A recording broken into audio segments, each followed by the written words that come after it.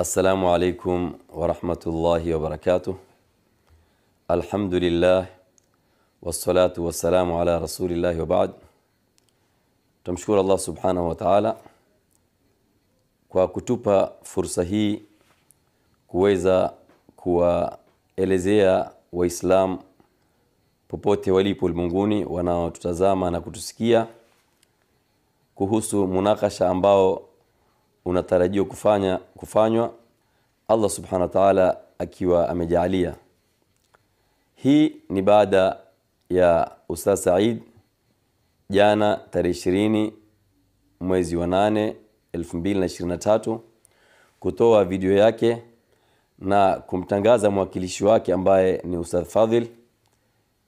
Kwa hivyo baada ya hapo nikampigia simu Ustadh Fadhil jana jana hiyo na kumtaka tuandae kikao mimi na watu wangu pamoja na yeye na, na watu wake ili kupanga nidhamu ya munakasha kwa haraka iwezekanavyo.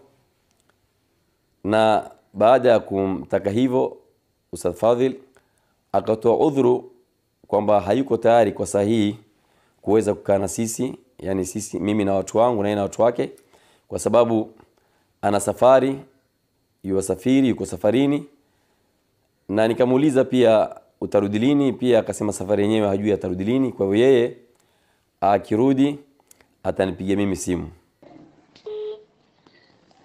Assalamu alaikum. Alaikum salam. Uh, namtaka Ustadh Fadhil.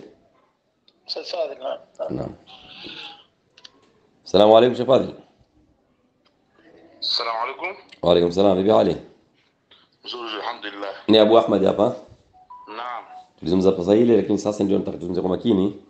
Tamam. Eh, sasa alhamdulillah nimeona video ya Said kukuwakilisha wewe kuwa kiongozi wa watu wa tarika kama nilivyowakilishwa mimi eh, kuwa kiongozi wa Ahlusunna wal Jamaa. Sasa ndio. Eh, nataka tukae haraka eh, wewe na watu wako kama ni wanne watano na mimi ili tuweze kupanga nikash na kutoa tarehe kwa mapema sababu waislamu wangojea sana hii. Ndio. Sasa kwa mimi kuanzia jumanne niko sawa. Tukutane kama ni malindi niambie watu wangapi utakuja nao na watu wangapi. Na napendekeza wewe lete mtu wako kurikodi na mimi nitaleta mtu wangu wa kurikodi ili waislamu wakati tunakubaliana pia waweze kuona live makubaliano yetu yanakwenda vipi. Ndio. Kwa hivyo ndio nimekupigia simu hii e, narejelea sisi tuko tayari kwa munakasha kuanzia saa hii wakati wote, na niko tayari mimi na jopo langu kukaa na wewe e, hata kesho ukitaka pia, lakini nimesema ni ghafla, labda Jumanne ukinambia tukutane, kama ni Malindi kwako ni karibu, nyinyi ni mimi niko Mombasa, lakini e, watu wangu mimi niko Ngomeni sasa hii na naweza kuja Malindi wakati wote. Kwa hivyo mimi nitakusikia kwako. Kwa upande wetu sisi tuko tayari kwa munakasha wakati wote kuanzia sasa, na tuko tayari mimi kiongozi wa uh, upande huu wa Ahlusunna wal Jamaa kukaa na wewe na watu wako wakati wote kuanzia sasa. Sasa nasikia kwako. nafikiri walisikia pale nilipokuambia Eh, kwamba mimi niko safari ndio. nikirudi Uliniambia waenda safari. eh umesikia Ushaenda sio? ah eh niko sasa hivi niko safarini hata siko Mombasa Ndio. siko Ndio. eh Kwa hivyo tukusubiri, tukupe muda mpaka lini? Naam Tukupe muda gani tukusubiri wewe? Maana tukusubiri wewe sisi. Sisi tuko tayari. mimi nikirudi nitakupigia mimi mwenyewe Kwa hivyo huwezi kusema ni lini wala ni lini. siwezi kwa sababu shughuli ndio na naendea Eh. sijui itamalizika Huwezi kukadiria pengine ni wiki moja, wiki mbili. eh sijui lakini nikirudi Ndio. mimi moja kwa moja nitakupigia Ah, basi kwa hivyo sisi upande wetu tuko tayari kuanzia sasa, na ilikuwa tuko tayari kukutana na wewe hata kesho au kesho kutwa kupanga Hamna ni kasi. Kwa hivyo sisi eh, sisi tutawangojea nyinyi upande wenu, wewe ukiwa una, umekuwa tayari umerudi unipigie mimi, lakini sisi upande wetu hatuna mtu amngojea sasa tuko tayari wakati wote. Kwa hivyo hiyo hiyo muda umeomba wewe tunakupatia sisi, lakini sisi tulikuwa tayari, hataki tena muda. Eh, sawa hamna shida hiyo nikirudi tu nitakupigia simu tutakutana Mombasa Sawa, Mombasa ni sawa kwetu, sisi tuko Mombasa. eh, kuanzia leo mimi hapa nikiwa uh, Ngomeni sasa hii ni enda mwendo saa kumi na mbili leo ni tarehe ishirini. Sisi tuko tayari kwa munakasha kuanzia leo. Umeomba muda kwa sababu una safari tumekupatia. Ukirudi Niko utanipig- safari, sio ndio ndio. Kama ulivyoniambia asubuhi enda safari sawa? Kwa hivyo ukirudi inshallah utanipigia. Tutakutana tupange. Jazakallah khair. Salamu alaikum wa rahmatullahi wa barakatuh. Kwa hivyo waislam wanaotarajia kwa hamu mwanakasha huu. Maelezo haya ni kwamba mara nyingi usa Said amekuwa akieneza kwamba sisi twachelewesha munakasha twatoa vipingamizi nyingi lakini sisi hatukuchelewesha munakasha tuko tayari. Wakati wote Sheikh Muhammad Bachu yuko tayari. Isipokuwa zile sharti tulizoziweka sisi ni yaliyotupata baada ya munakasha wa Tanga kwa Sheikh Sabas kujadiliana na Sheikh Muhammad na kushindwa zile hoja kuzijibu.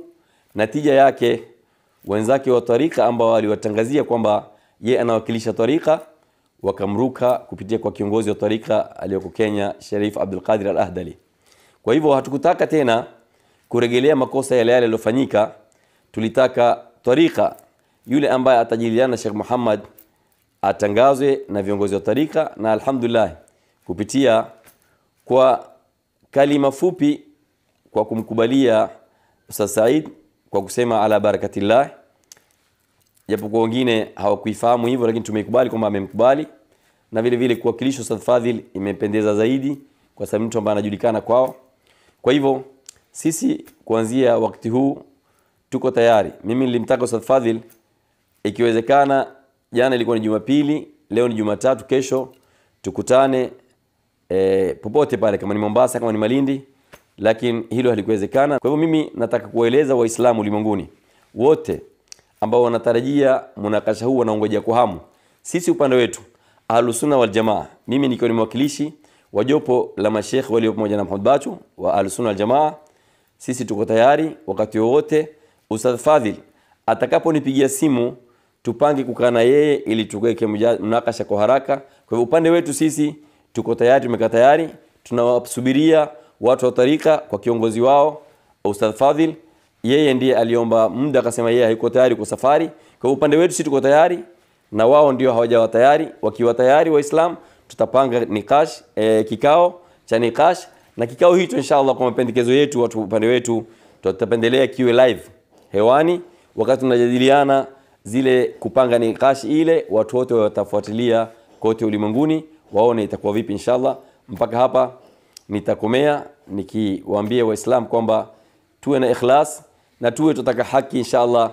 Wale watakaosikiliza ile munakasha watie nia kufuata haki na wasiwe watakuwa labda yeye amekuja pale lakini amesimama pale pale ili tuweze kupata faida. Mpaka hapa wassalamu alaikum warahmatullahi wabarakatuh